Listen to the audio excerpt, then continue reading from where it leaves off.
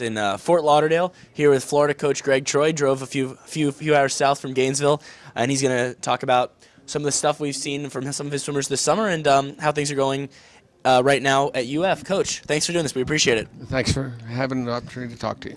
So, um, let's talk about some of your uh, your athletes at the Olympic Games. I think probably the first one we should get to is Caeleb Dressel, who had one of the had a very memorable Olympic debut. Got to lead off a 400 freestyle relay in his first Olympic swim, go a best time, and win a gold medal, and then get really emotional. What watching at home? What, what were you think, feeling for him at that moment? Uh, a, a, lot of pride in his performance. Mm-hmm. Uh, he's just uh, he's a special guy to start with, and uh, his emotion in the, in the situation was genuine and true. But um, very very little international experience. One yeah. junior junior trip three years ago, and other than that, he's not been in any national teams. And to be put in that sort of pressure cooker right away off the top, uh, we felt comfortable he would handle it. But having him actually do it and seeing the emotion involved was tremendous. Just seeing kind of the growth he's had from taking the time off a couple years ago to coming into your program and not having the 100 right away to obviously what he did this year at NCAAs.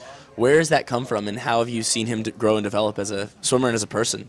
Uh, it, it, does relate a lot to being the person. Mm-hmm. His value structure, um, the the way he approaches things for for a young person. He's extremely professional for someone that was in. He came to school at 17, mm-hmm, so he was right. 17 to 19. His uh, his maturity level is tremendous. Great skill set. Um, m- much more than just a, a, sprint guy, but he's certainly that's where his best skills lie, and he just continues to grow. Yeah.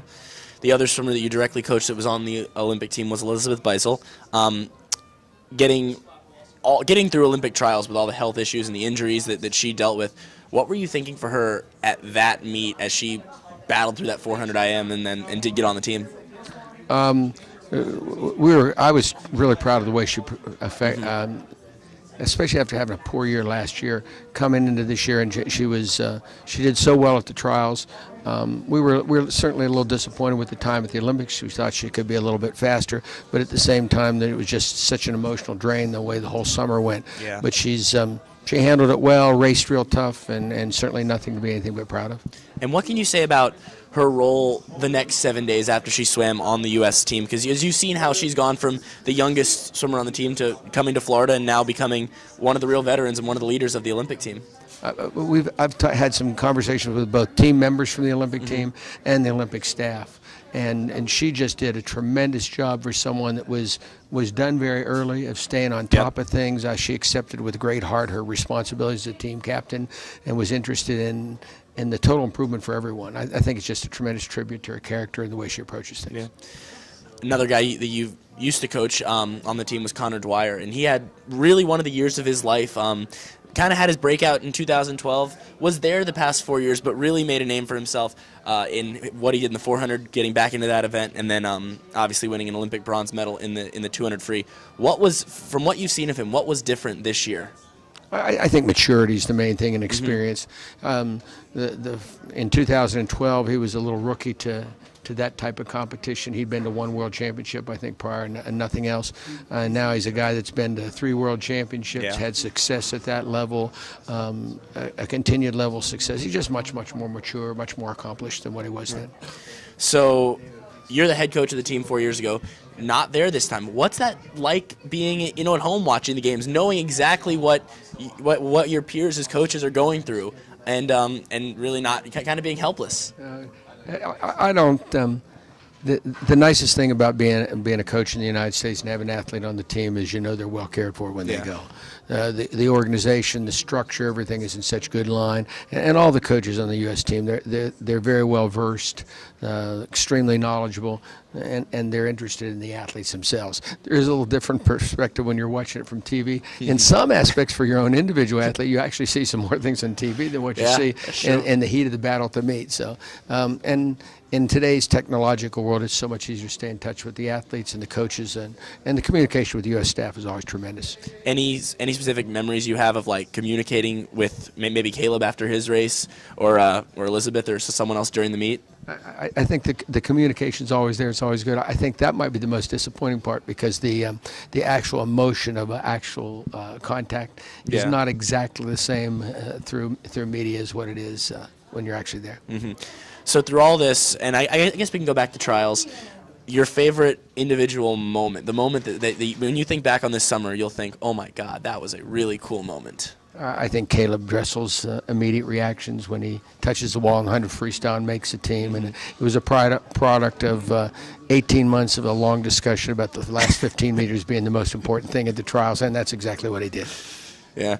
Um, so you guys are, are back at school. You said the freshmen have been there, been there a month is it is it tough to start the whole new quad? Obviously, there's a new group of freshmen every year, but what's it like, kind of getting into this this cycle again, this sort of endless cycle, and this being the very beginning, knowing just how far there is to go?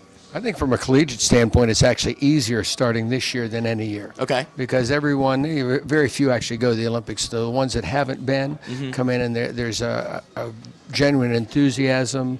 They are, in fact, starting a quad. We do talk about that from a perspective, even from a collegiate program, mm-hmm. that the collegiate program gives you a great platform to start a new quad. So they're hyped up and they're ready to go. I think that aspect is good. It's a, it's a little harder for the athlete that has been in the Olympics, especially if they've had some success, yeah. because they're coming, we start school early, and they're coming right off that pressure cooker. So we got a little cautious about how we approach it with them. So what has been your approach? Because you had Elizabeth in, uh, in 2012, you had Ryan Lochte in 2004 coming off the Olympics. What, what's your how is it different handling an athlete that has just come off that coming back into into college? The, the ones that have eligibility like that, they're they're um, they make all the team functions because they're, they're certainly key members of the mm-hmm. team.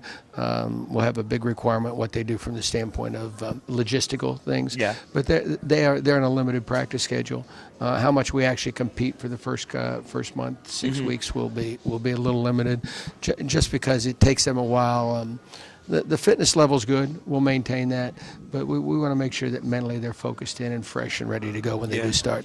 So in your fresh, freshman class, you have one especially talented kid named Maxime Rooney who. Uh, the people were expecting some stuff of at trials. Had some moments, not quite as much as he might have wanted. Um, so where is he now coming back into into swimming and um, and trying to refocus and, and reset his goals because obviously the, the potential is really there. Everything we've seen the first month was was fantastic. Mm-hmm. He's uh, from a great club program, and, and he and Steve Morsilli had a great plan. Uh, I don't. Uh, I think sometimes the expectation from uh, from a media and outside perspective is is a whole lot tougher yeah. Uh, then we actually get, the, get get into that situation. You, you don't. Uh, there's a, there's sometimes a saying, you know, your first Olympic trials is to figure it out, mm-hmm. is, to get the experience, and your second sure. one to really figure it out. And and I think his.